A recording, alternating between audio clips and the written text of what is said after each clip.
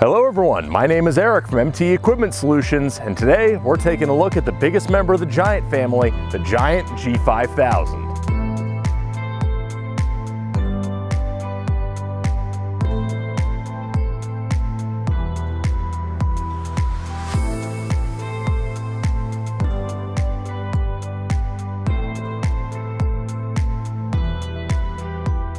Previously looked at the more compact options in Giant's lineup, and you can find a playlist of those right up here. But today, we're talking about the G5000. Now, the G5000 is the biggest in Giant's lineup, but coming in at over 10,000 pounds, depending on options, it still is not as big as the jobs it's designed for. Now let's start with the spot that you're gonna be spending the most time with the Giant G5000, and that is this operator station. Now naturally with it being the biggest Giant loader, it also has the biggest interior and the biggest operator station as a whole. For reference, I'm six foot three, 250 pounds, and I have plenty of room everywhere in this machine. The center console comes down to meet me or goes back up just as easily. And the air ride seat is comfortable no matter how much weight you're putting on it. And all of your controls, conveniently enough, are on your console to your right, right here. So the standard operator station comes with just a safety roof and a rollover protection system, but as you can see, this one is decked out a little bit more with front and back glass and door glass all included with the full cab, and the full cab has heat air conditioning, windshield wipers, and work lights all over the place for visibility in any conditions and comfort in any season. The joystick controls your boom with functions for attachments built right in, along with functions for extending and retracting the telescopic boom option without having to move your hand. All switches are clearly labeled, so as with all giant loaders, it is very easy to pick up and play. If there's any giant loader which I think best demonstrates their most optimized four season package, this is the one. The Giant G5000 is built to be an extremely hard-working machine, which delivers a ton of strength and a ton of power as a 75 horsepower wheel loader. Everything on the machine that should be steel is thick heavy duty, heavy gauge steel, more than built for the loads this machine is rated for. For example, the main loader arm, the two arms that make up that central body are each a full inch and an eighth thick piece of steel. So that's one example. Now the other thing that's nice is that the hydrostatic four-wheel drive and the heavy-duty final drives deliver an incredible amount of power to the ground with a lot of pulling force, as with the rest of the Giant lineup. And if you need that to be even more impressive, there's an optional two-speed gearbox that increases that speed and that torque even further to customize the G5000 for your application. Of course, the distinct feature of giant loaders is this right here, the articulating and oscillating frame, and on a machine this size, it becomes even more beneficial.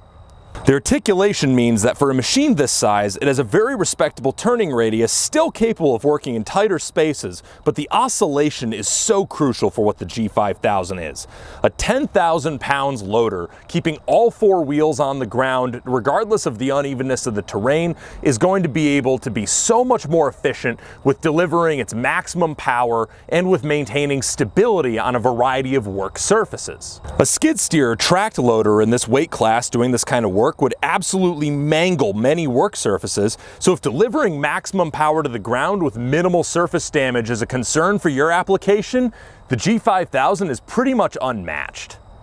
Of course, all this power has to come from somewhere, and on the Giant G5000, that somewhere is this 75 horsepower Kubota engine, chosen for its reliability, its durability, and for the fact that it's super easy to get parts for, and you should always be able to keep it running, especially if you get parts from us here at MTE Equipment Solutions. But the main point is that you can get at this engine just by opening this hood. It's very easy to get at all of your major service components and all of your fluid fills are on the outside. If you really need to get into the fourth side of the engine, the body panel that connects to the cab pops out easily enough along with the seat.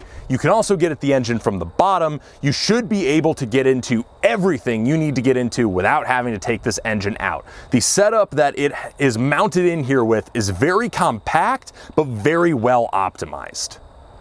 Naturally, the Giant G5000 comes with some different boom options for your use case. Now, this is the telescopic boom right here, which is going to sacrifice a maximum lifting load to increase your maximum lifting height. But all of the booms come with the standard skid steer attachment plate in its full-size guise, so that you're actually able to use a huge arsenal of skid steer compatible attachments for just about any job that you can think of. Now the standard Z-bar configuration tries to balance the needs and gives you about a 137.8 inch maximum lift height versus a maximum tipping load of 7,360 pounds. Now the extra boom moves the pivot point down a little bit closer to the wheelbase and the ground in order to sacrifice some lifting height to achieve a maximum tipping load of 9,850 pounds. That's actually a full 150 pounds more than the G5000 Extra weighs. But if you absolutely, positively need the maximum lifting height you can get with the G5000, accept no substitute for the telescopic boom. With the telescopic boom, you've now increased the G5000's lifting height to 171.3 inches. That is the highest lifting height available in the Giant lineup until you start looking at a dedicated telehandler like the GT5048. But that is going to be a video for another time. So putting the whole package together, what do you get? Well, what you get is a machine with a standard 57.5 inch wheelbase with a range of tire options for all surfaces, which can bring the wheelbase all the way out to 77 inches, with a variety of ballast options as well.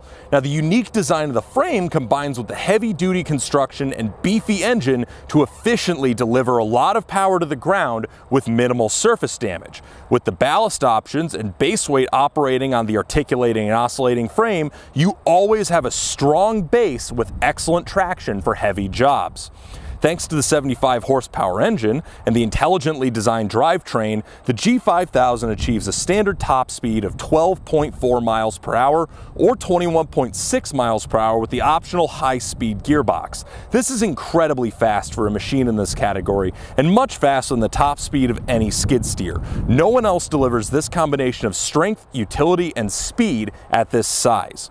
The G5000 is Giant's biggest loader with a lot of configuration options to customize it for your applications. But no matter the configuration, it's still not a machine as big as the jobs it's designed to do.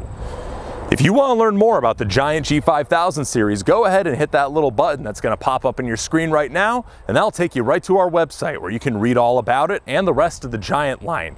Do you have some questions about the G5000 that maybe we didn't get to in the course of this video? Go ahead and put those down in the comments. Be sure to hit a like if you enjoyed this video, and be sure to hit that subscribe button if you want to see what we talk about next from the Giant lineup. If you enjoyed this video, we hope that you'll check out more like it from MTE Equipment Solutions here on YouTube.